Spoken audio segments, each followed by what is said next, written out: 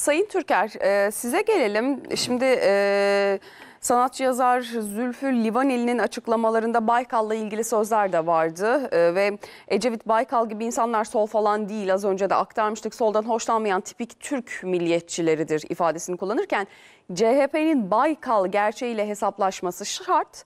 Hasta bir kişiyle değil, bir zihniyetle hesaplaşılmalı ifadesini kullandı. Ee, ve aynı zamanda Baykal solcu muydu? Hiçbir alakası yok. Tipik bir sünni sağcı Ankara politikacısıdır Baykal.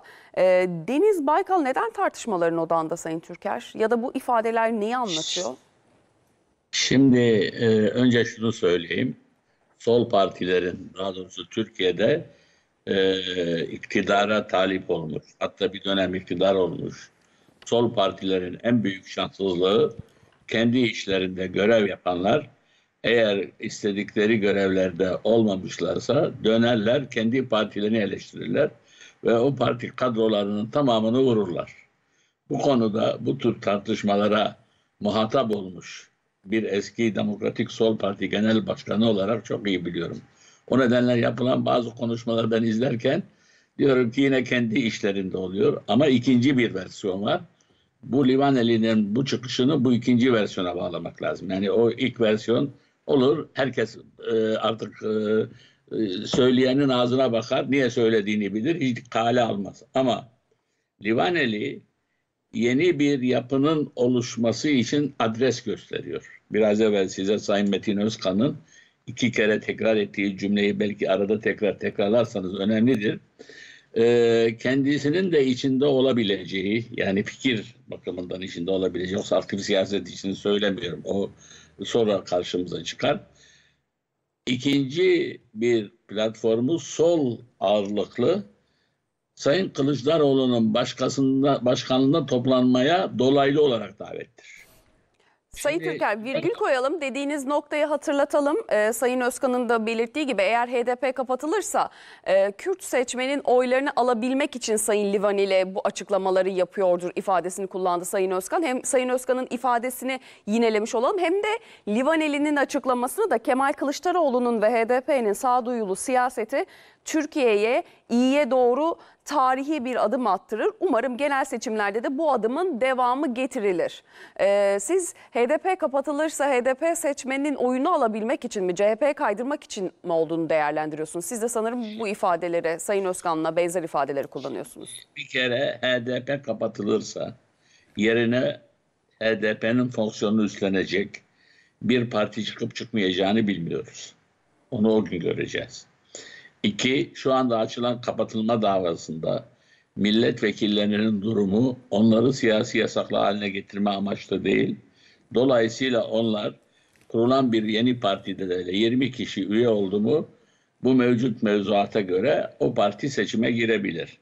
Kaldı ki HDP'nin milletvekillerinin geçmişte yani bugün seçilenler olmayabilir.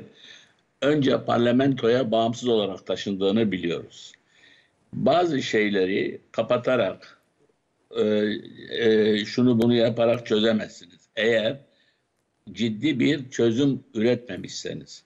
Şimdi burada Sayın Livaneli'nin söylemesine gerek yok. 1973 yılında Sayın Ecevit'in birinci parti olduğu dönemde solda faaliyette bulunmuş Sayın Ekinci'nin önderliğinde Diyarbakır'dan başlayarak faaliyete bulunmuş olan Kürt seçmenler sol cenahta toplandılar ve oraya oy verdiler. Zaten solun içindeki en büyük oy potansiyeli hani yüzde kırklara vardığı zaman Kürt seçmenin oyuydu. Bunu kabul etmek lazım. Yani o zamanki analizlere bakılırsa akademik çalışmalara görülür. Ne zaman ki 1989 yılında e, Paris'teki Kürt konferansına katılan milletvekilleri ihraç edildi SHP'de. SHP'de hafif bir çözülme başladı. O hafif çözülmeyi kendi işlerindeki eleştiriyle giderebilmek için 1991 seçimlerinde bu sefer ihraç ettikleri milletvekillerinin de aday olduğu şeyi halletmeye başladılar. Ee, bu konuda ee, kendi taraflarına çekmeye başladılar ve birlikte seçime girdiler.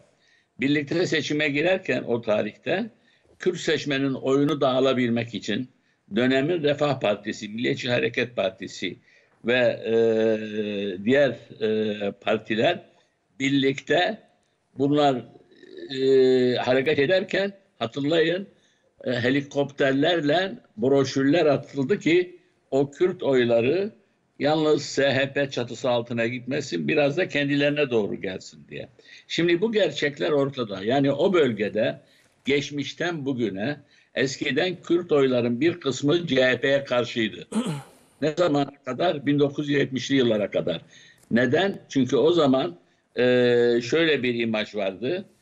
Egemen sınıf yani muhatap olan aşiret düzeninin bir kısmı CHP'nin yanındaydı Cumhuriyet'in kuruluşundan bu yana. Ama daha sonra sağa doğru evrildikçe bu egemen güçler bu sefer çalışan güç yani bireysel olanlar sınıfsal olarak özellikle İşçi Partisi'nin çıkışından sonra solun artık legalize olduğu bir dönemde Türkiye'de ve sol hareketlerin de öğrenciler arasında oldu ki Sayın Bayrakçı'nın verdiği rakamlar vakit kalırsa söyleyeceğim.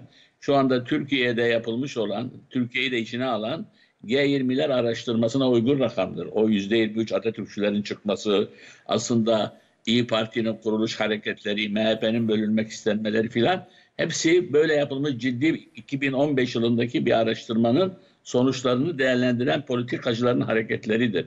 Şimdi böyle baktığımız zaman şu anda da böyle bir hareket var. Acaba HDP kapanırsa bize ne düşer? Şimdi bu konuda en büyük beklenti aslında AKP'de. AK Parti öyle diyelim yani üzülmesinler AKP'de iyice de kızıyorlar. AK Parti Kürt oyların bir kısmının kendilerine yöneleceğini düşünüyorlar.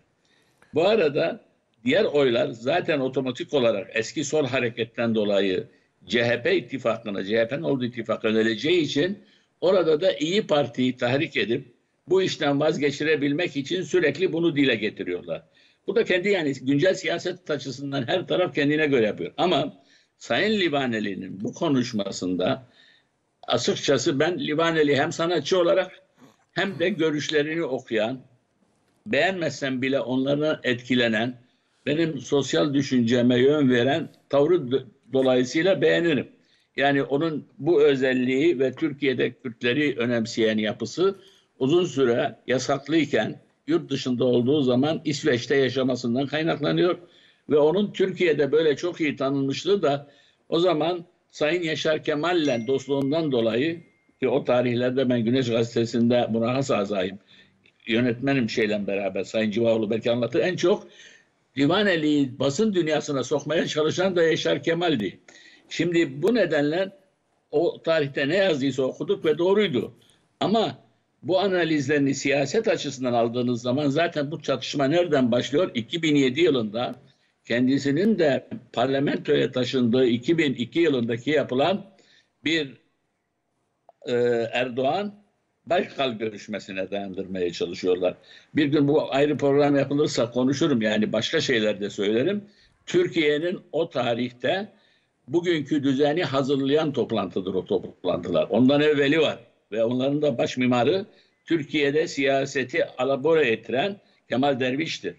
Sayın Livaneli o tarihte Kemal Derviş'le beraber hatta DSP'yi de yok etmek üzere o zaman kurulan bir yayın organında da bulunmuştur ve o yayın organının hedefi DSP'yi yok etmek amacına yöneliktir.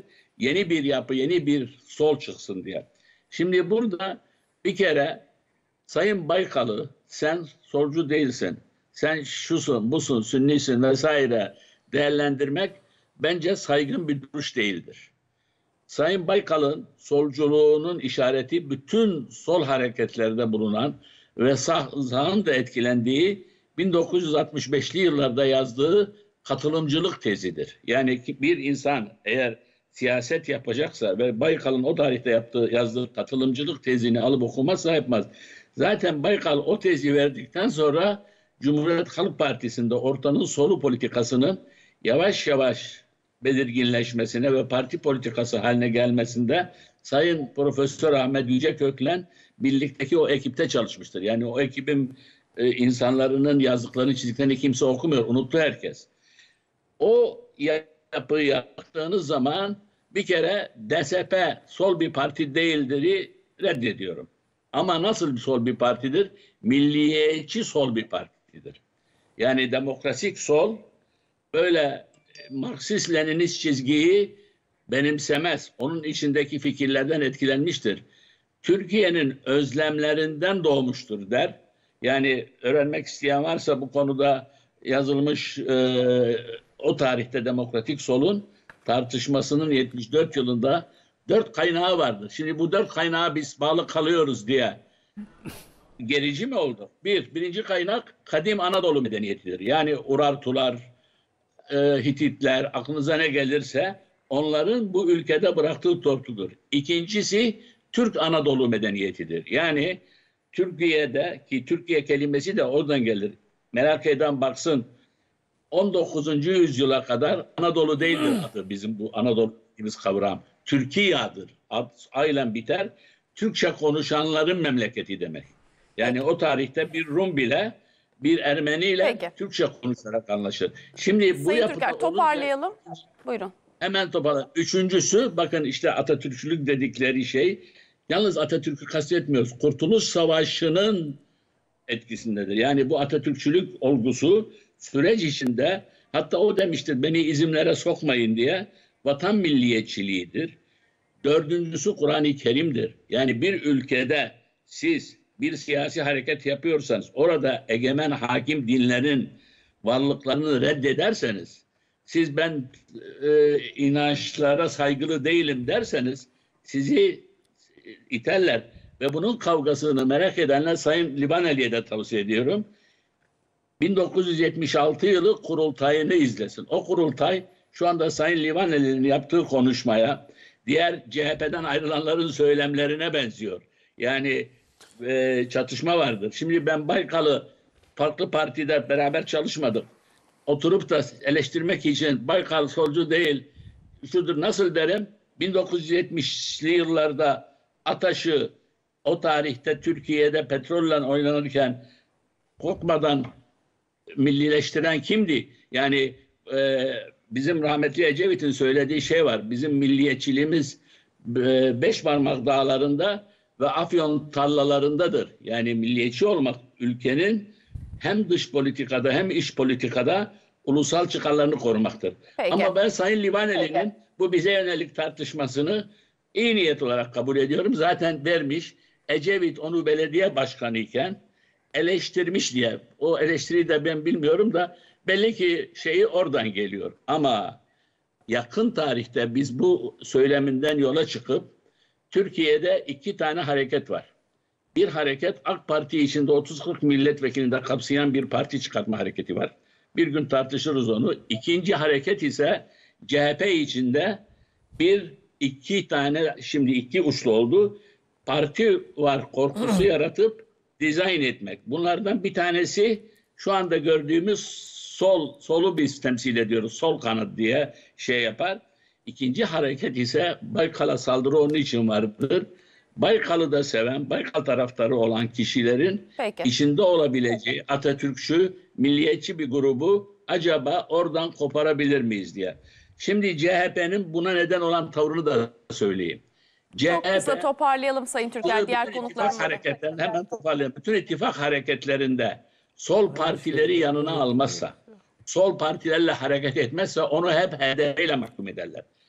Şu anda CHP'nin yıllardır ben genel başkanken, genel sekreterken de yaşadığım, biz parlamentodayken de yaşadığımız hep DSP'yi yok saymak. SP, DSP'yi reddetmek, DSP hakkında laflar üretmekle geçirdiği için kendi kendini özellikle farkında olmadan aynı şekilde hitaplarla karşı karşıya gelmesine neden oluyor. Ben tavsiye ederim.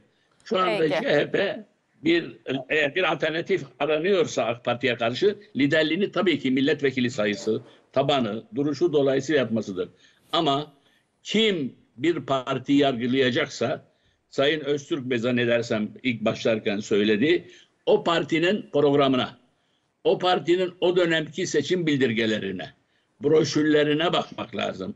Yoksa yalnız yöneticileri şimdi benim sevmediğim adamlar olmuş diye o adamların şahsında o partiyi boğmak, yıkmak doğru değildir. Geçmişte hataları vardır. Şimdi o hatalara baksak ben burada CHP'den nefretle konuşmam gerekir ama hiçbir zaman konuşmuyorum. Çünkü neden? Peki. Onların yazılı belgelerinde o tür şeyler kalıcı olarak yok. Ve yazılı belgeleri değiştirmek, parti programlarını değiştirmek öyle kolay değil. Kişiler ayrılır ama parti programları, parti ideolojisi kalır. Önümüzde örnek var. Peki, Bütün genel değerlendirmek gerekiyor diyorsunuz. Sayın Türker- 2002'de ama MHP tekrar geldi parlamentoya girdik. Peki. Ben- Ee, bir saniye. Şey- Masum Bey Ya bir bir cümle soru söyleyeyim sorma Allah Sayın Bakan. aşkına sorma.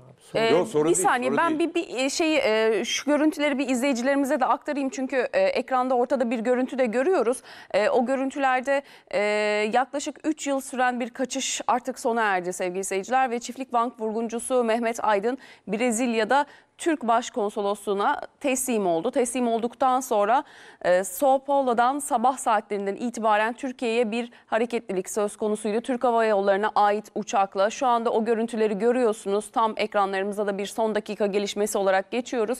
Havalimanından canlı görüntüleri bizler sizlere aktarıyoruz.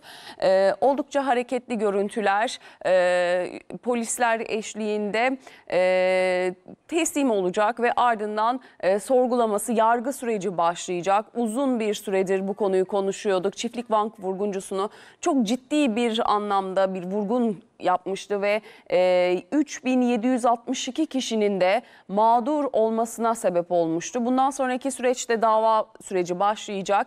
75.260 yıla kadar hapisle yargılanacak uzun bir süreçten söz ediyoruz. Çiftlik Bank vurguncusu, e, kurucusu polisteki işlemlerinin ardından İstanbul Anadolu 6. Ağır Ceza Mahkemesi'nde de ilk kez hakim karşısına çıkması bekleniyor. Bundan sonraki süreçte Mehmet Aydın 3 kişilik ekiple İstanbul'a getirildi. Şu dakikada Türk Hava Yolları'na ait uçak e, havalimanına iniş yaptı. Az önce de bu görüntüleri ekranlarımızda tam ekran olarak getirdik. Şimdi de havalimanındaki o hareketliliği sizlerle paylaşıyoruz. E, transit bir bölgede karşılanıyor. Ardından da e, uzun bir süredir 3 yıldır kayıp olan, kaçak olan Aydın havalimanındaki polislere teslim ediliyor ve edildikten sonra da e, Türkiye'nin beklediği, mağdurların beklediği o süreç başlayacak yargılama sürecinden söz ediyoruz. Brezilya makamları Türkiye'nin iade talebini kabul etti.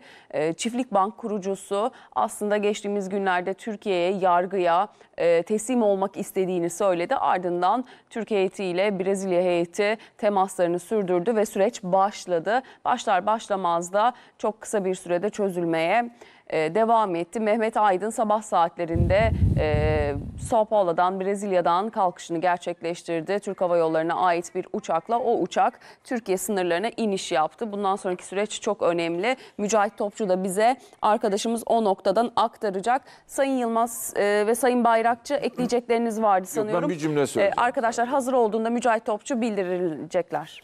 DSP, DSP Sayın Türker e, bizi görmezden geliyorlar dedi. E, şimdi DSP son yerel seçimde yüzde 1.2 hatta büyük şehirlerde bir buçuk, bir buçuk civarı oy aldı. Bir puanın çok önemli olduğu bir seçimde yani DSP'nin görmezden gelinmesi biraz zaten komik bir durum olur. E, strateji hatası olur. Dolayısıyla DSP'nin son yerel seçimde bile yüzde bir buçuk oyu var. Doğru mudur Sayın Türker? Yanılıyor muyum? Şimdi Evet daha fazladır da oyları. Yani e, şeye indirgerseniz toplamda girdiği yerlerin nüfusuna göre. Evet. Şimdi bu başlık üzerinden devam edelim. Unutmayın sözlerinizi ama e, Çiftlik Bank vurguncusu e, şimdi önemli bir noktayı takip ediyoruz. Bu anlamda belki söyleyecekleriniz vardır. E, ben de sormak istiyorum. Sayın Yılmaz siz de ekleyeceksiniz ben galiba. şu konuyu bitirmeden Onu bir size e, vereceğim birazdan söz hakkınızda. Bu konuyu hiç bölmeyelim. Bu sefer çünkü e, birazdan arkadaşımıza bölgeye bağlanacağız Mücahit Topçu. Sözünüzü yine bölmek zorunda kalacağım ve başka bir başlık olacak. E, Mehmet Aydın, e, Mücahit Topçu hazır. Hemen Mücahit Mücahit'e dönelim. Mücahit nedir son bilgiler? Sende notlar seni dinleyelim. Mehmet Aydın yani Çiftlik Banka CEO'su, kurucusu öncelikle bu noktaya getirilecek ve adli tabibe Göksu evet an itibariyle kamuoyunda Tosuncuk lakabıyla bilinen Mehmet Aydın Türkiye'ye getirildi. Hatırlayacaksınız geçtiğimiz günlerde bir video mesajla teslim olacağını açıklamıştı Mehmet Aydın ve şu an itibariyle yaklaşık e, 20 dakika önce 22.10 civarında İstanbul Havalimanı'na gelmiş oldu. Brezilya'dan kalkan, Sao Paulo'dan kalkan Türk Hava Yolları'na ait TK çift 016 sefer sayılı uçakla an itibariyle İstanbul Havalimanı'na iniş yaptı yaklaşık 20 dakika önce. Çiftlik Bank'ın kurucusu olarak biliniyordu Mehmet Aydın. Arkasında binlerce kişi, binlerce mağdur bırakarak 1 milyar liranın üzerinde bir parayla yurt dışına kaçmıştı. Çift- Çiftlik Bank kullanıcılarını dolandırarak yurt dışına kaçan Mehmet Aydın şu an itibariyle Türkiye'ye getirilmiş durumda. Tabii Türkiye'ye getirildikten sonra yaklaşık 4 günlük bir gözaltı süresi olacak ve bu gözaltı süresince de hakkında açılan bazı davalar vardı. Dolandırıcılık davaları davaları vardı ve o dolandırıcılık davaları neticesinde de tutuklanması bekleniyor. Bunu ifade edebiliriz. 2018 yılında yurt dışına çıkmıştı ve ilk olarak da yine o tarihte 2018 yılında 3 yıl önce hakkında kırmızı bültenle arama kararı çıkarılmıştı. Ee, farklı noktalardan Brezilya'dan, Uruguay'dan, Panama'dan yine Honduras'tan, Kanada'dan, Ukrayna'da olduğuna dair iddialar vardı. Türkiye Cumhuriyeti o noktalarda e, Mehmet Aydın'ın iadesine e, yönelik girişimlerde bulunmuştu. Son olarak da zaten Brezilya'da olduğu belirlenmişti ve Brezilya'ya yapılan bu iade başvurusu sonucunda da e, bugün itibariyle artık Mehmet Aydın kendi isteğiyle teslim olmuş oldu. Önce konsolosluğa gitti ardından da e, bugün itibariyle Türk yetkililer tarafından Türkiye'ye getirilmiş oldu. Saat 22.10 civarında bunu ifade edebiliriz. Tabii hakkında açılan davalar var. 3 ayrı dava, bir soruşturma ve 8 suçlama var. Hakkında 75 bin yıla kadar hapis cezası isteniyor. Bunu ifade edebiliriz. Ee, çok sayıda mağdur bıraktı dedik. 3000'in üzerinde mağdur, binlerce mağdur söz konusu. 1 milyar liranın üzerinde bir parayla yurt dışına çıktı ve o paranın akıbeti de merak konusu. O paraya ne oldu? De Mehmet Aydın o paralarla ne yaptı? Bu da e, merak edilen konular arasında yer alıyor. Hakkındaki suçlamalar neler? Hemen ondan da bahsedeyim. Biraz suç işlemek amacıyla örgüt kurma, suç örgütüne üye olma, bilişim sistemlerini araç olarak kullanmak suretiyle dolandırıcılık ve suçtan kaynaklanan mal varlığını aklama gibi hakkında iddialar var. Bunu ifade edebiliriz. Şu ana kadar Çiftlik Bank ve Çiftlik Bank'a ait 3 milyon liranın üzerinde paraya da e, el konulduğunu ifade edebiliriz. E, yapılan da yargılamalar neticesinde bunu da belirtelim. Interpol'un Pol'ün en çok arananlar listesinde yer alıyordu Mehmet Aydın ve bugün itibariyle artık İstanbul Havalimanı'na gelmiş durumda. Hemen ilk olarak havalimanındaki polis merkezi şefliğinde e, bulunacak. Ardından da hemen e, Gazi Osman Paşa Adliyesi'nin ek binası yaklaşık 20 metrelik 30 metrelik bir mesafeye götürülecek ve burada ilk ifadesinin alınmasını bekliyoruz. 4 günlük bir gözaltı süresi söz konusu olacak ve sonrasında da hakkındaki suçlamaları mahkeme önünde çıkacak ve hesap verecek. Bunu ifade edelim. 2018 yılında arkasında binlerce mağdur bırakarak 1 milyar liranın üzerinde bir parayla yurt dışına çıkmıştı kamuoyunda Tosuncuk lakabıyla bilinen Mehmet Aydın Çiftlik Bank'ın kurucusu geçtiğimiz günlerde bir video mesajla Türkiye'ye gelip aklanmak istediğini, Türk adaletine teslim olmak istediğini ifade etmişti ve o o ifadenin ardından da Türk konsolosluğuna giderek teslim oldu ve şu an itibariyle de yaklaşık e, 20-25 dakika önce de İstanbul Havalimanı'na geldi, teslim oldu. Polis ekipleri Mücahit, tarafından Mücahit bir e, dakika. Şimdi şu dakikalarda e, Tosuncuk lakaplı Mehmet Aydın'ın e, uçaktan indikten sonra transit araçla iki kolundan polislerle birlikte artık bundan sonra tabii adli yargı süreci başlayacak. Anadolu Adliyesi'nde 6. Ağır Ceza Mahkemesi'nde ilk kez hakim karşısına çıkarılmak üzere cezaevine götürülüyor ve bundan sonraki süreçte yargı süreci de başlayacak. Yoğun güvenlik önlemleri söz konusu. Brezilya'dan geldi sabah saatlerinde o görüntüleri bizler de canlı olarak geçiyoruz. 3 yıldır e, aslında kayıptı, kaçaktı, aranıyordu her yerde ve Brezilya makamlarıyla Türkiye'nin irtibata geçmesiyle birlikte Demirören Haber Ajansı'nın geçtiği o görüntülerle canlı olarak İstanbul'dan, İstanbul Havalimanı'ndan canlı olarak bizler de paylaşıyoruz sizlere, ekranlarınıza getiriyoruz. Türkiye çok uzun bir süredir e, bu vurgunu gerçekleştiren çok sayıda mağdur vatandaşın olduğu bir konuydu. Gündemimizden düşmemişti. O mağdurların seslerine kulak verdik zaman zaman ekranlarımıza getirdik. Büyük bir vurgundan söz ediliyordu. Tosuncuk lakabıyla Çiftlik Bank'ın kurucusu olarak yer alıyordu ve büyük vurgunu yaptıktan sonra kayıplara karıştı. Uzun bir süredir de kaçıyordu. İşte o süreç artık sona geldi. Bugün itibariyle sonlandı şu dakikalarda.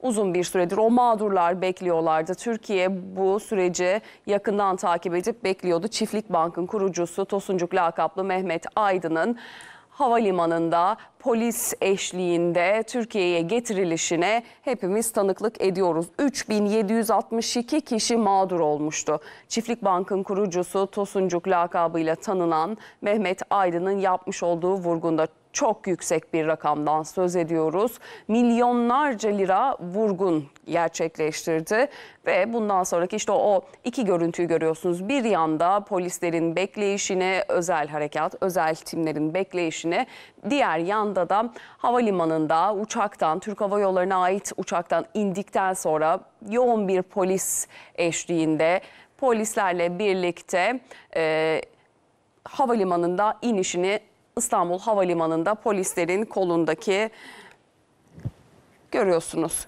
Şimdi Mücahit senle devam edelim. Nedir sendeki son bilgiler? Belki ekleyeceklerin vardır benim sözlerime de.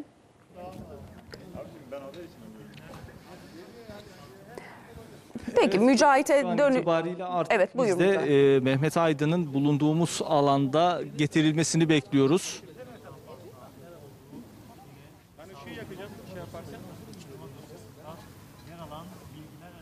Mehmet Aydın teslim olmadan önce Evet 3 yıldır firari konumda olan Tosuncuk lakabıyla tanınan kamuoyunda Mehmet Aydın an itibariyle Türkiye'ye getirildi. İstanbul Havalimanı'nda e, şu an itibariyle bulunuyor. Polis ekipleri eşliğinde bulunduğumuz alana getirilecek ve Gazi Osman Paşa Adliyesi ek hizmet binasına götürülecek ve burada e, ilk ifadesi alınacak. 4 günlük bir e, gözaltı süresinin verildiğini ifade edebiliriz. İstanbul Anadolu e, Savcılığı tarafından bunu ifade edelim. Tabii şunu da söyleyelim özellikle uzun yıllardır 2018 yılından itibaren e, hakkında e, arama kararı bulunuyordu. Nerede olduğuna dair çeşitli iddialar vardı. E, nerede olduğu belirlenememişti. E, Brezilya denmişti, Panama, Honduras, Kanada, Ukrayna farklı ülkelerin adı geçmişti. Türkiye bu ülkelerle iletişime geçmiş ve e, Mehmet Aydın'ın iadesini istemişti eğer o ülkede bulunuyorsa diye.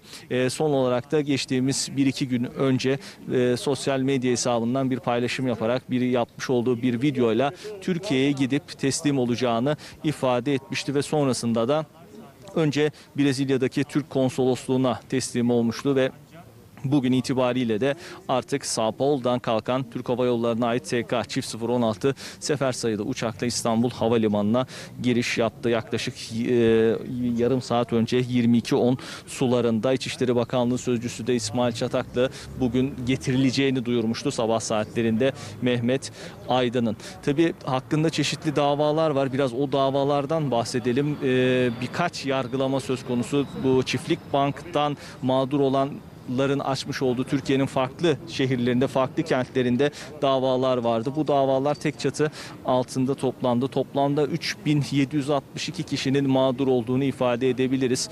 Ee, bu mağdurlardan toplanan 1 milyar liranın üzerinde bir para var. İşte o 1 milyar liranın üzerindeki bir parayla Mehmet Aydın Türkiye'den çıkış yapmıştı ve yurt dışında yaklaşık 3 yıl boyunca kaçak olarak bulunuyordu. 3 yıl ardından teslim olmaya karar verdi ve e, Türk konsolosluğuna gitti Brezilya'da. Sonrasında da Türk yetkililer tarafından e, Türkiye'ye getirildi an itibarıyla. Interpol listesinde de en çok arananlar listesine dahil olmuştu. Türkiye'nin girişimleriyle kırmızı bülten çıkarılmıştı hakkında ve artık e, kamuoyunda Tosuncuk lakabıyla bilinen Mehmet Aydın Türkiye'de ve bundan sonra yargılama süreci de başlamış olacak. 19 Mart 2018'de ilk kırmızı bülten çıkarıldığı tarih bunu da ifade edelim. Hakkında e, hangi davalar var? Suç işlemek amacıyla örgüt kurma, suç örgütüne üye olma, bilişim sistemlerini araç olarak kullanmak suretiyle dolandırıcılık ve suçtan kaynaklanan mal varlığını aklama gibi çeşitli suçlamalar yönetili, yönetiliyor kendisine. Yapmış olduğu e, video paylaşımında suçsuz olduğunu ve Türk adaleti önünde e, yargılanmak istediğini, aklanmak istediğini ifade etmişti Mehmet Aydın. Bakacağız önümüzdeki süreçte nasıl bir e, yargılama yapılacak, hakkında nasıl kararlar verilecek bunu da yakından takip edeceğiz. Şu an itibariyle önce havalimanından polis merkezine, havalimanında bulunan polis şef merkezliğine getirilecek. Ardından da hemen bulunduğumuz alandan e, ekranlarınıza gelen de bu kapıdan çıkacak ve Gazi Osman Paşa Adliyesi Ek Hizmet binasına geçiş yapacak ve orada bir ifade verme söz konusu olacak. Sonrasında da zaten hakkında 4 günlük bir e, karar çıkarılmıştı. Gözaltı kararı çıkarılmıştı ve e, tutuklanarak cezaevine girmesini bekliyoruz. 76 bin e, 260 yıla kadar hapis cezası isteniyor. Oldukça rekor denilebilecek bir e, durum söz konusu an itibariyle bunu da ifade edelim. Binlerce mağdur milli, milyonlarca lirayla e, geride binlerce mağdur bırakarak milyonlarca lirayla yurt dışına kata- kaçan Tosuncuk lakaplı Mehmet Aydın İstanbul Havalimanı'nda an itibariyle Türkiye'ye getirildi.